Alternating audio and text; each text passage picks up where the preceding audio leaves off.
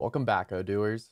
All right, so we've already covered the basic essentials of the Odoo Surveys application and how to create custom questions and sections. You've even seen how you can send out your brilliant surveys to potential participants. So you're basically a professional questionnaire at this point. But now is where the fun begins.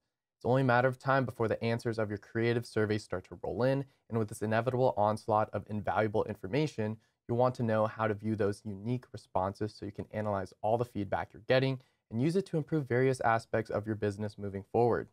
Fortunately, Odoo Surveys makes survey analysis incredibly simple. Throughout the application, there are many different ways to view, filter, and dive into survey submissions, helping you learn a ton in the most efficient way. So enough of this chit chat. Let's dive back into our database so I can show you how easy survey analysis can be with Odoo. Here we are again on our familiar surveys dashboard where you can find all the surveys you've created in your database.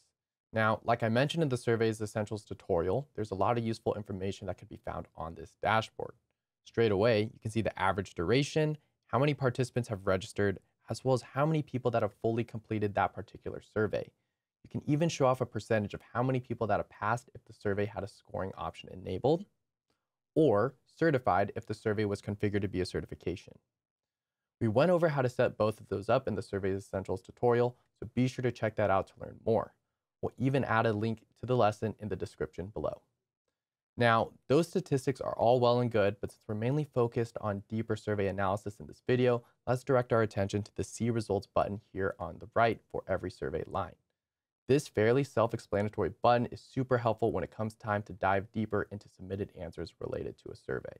So let's click See Results for My Company Vendor Certification and see what this is all about.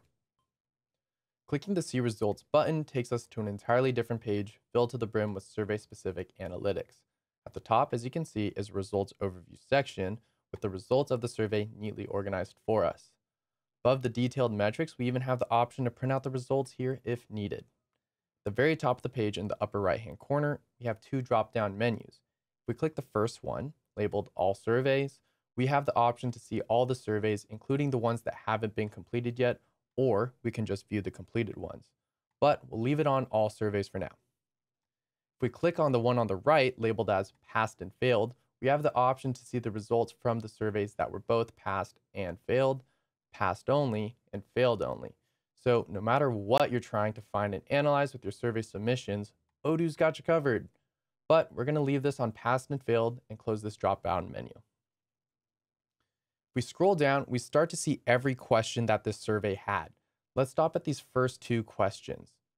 To the top of the right of the question, you'll see how many participants responded or skipped this question. And below that, you'll find the graphical representation of the submitted answers. You'll see a pie graph, there's only one correct answer, and you'll see a bar graph, there's multiple correct answers. Each potential answer has its own color, and the correct answers have a check mark right beside them. When you hover your cursor over the pie graph, Odoo lets you know how many people gave that answer.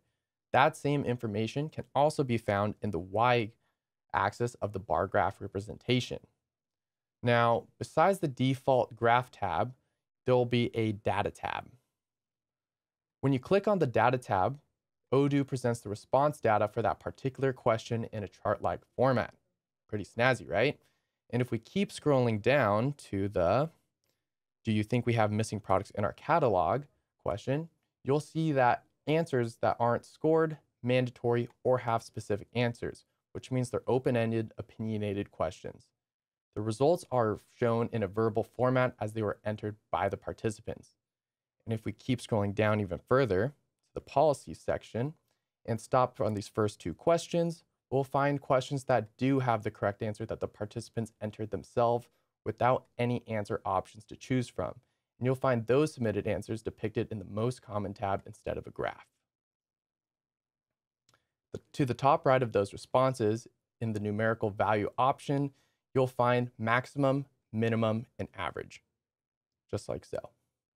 And if we're looking at a specific date or date time, those responses are represented like this.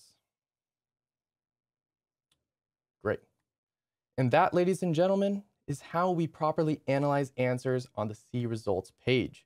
Pretty cool, right? So let's jump back to our surveys dashboard real quick for a few other elements that I want to show you.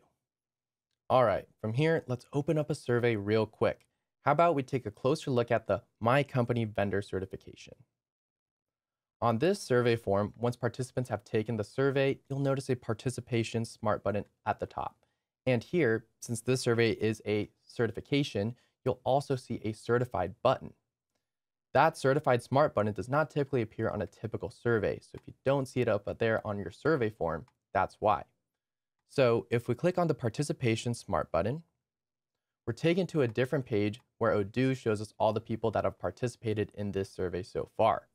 Here, we can see when they took it, what survey they participated in, their contact information, their email, how many attempts they've done, if they have a particular deadline to complete the survey, if they passed, their score, and the status. I know, that's a lot of information for one page, right? And if we click on any of these participant lines, for example, Deco Addict, we can see the complete breakdown of how they answered this survey. And we can also see this green banner here letting us know that Doug from Deco Addict passed this survey. Nicely done, Doug. If he would have failed, we'd see a red banner with the words failed. But Doug's a smart cookie, he's been studying. So if we navigate back to our survey via the breadcrumbs here and click the certified smart button, we're taken to a similar looking page showing us the participants who have met the required score percentage for this certification. And they have also earned themselves the prestigious title of certified. Not too shabby, right? Well, now, if you want to get a bird's eye view of all the participants for all of your surveys, then you're going to want to tick the participations button here at the header menu.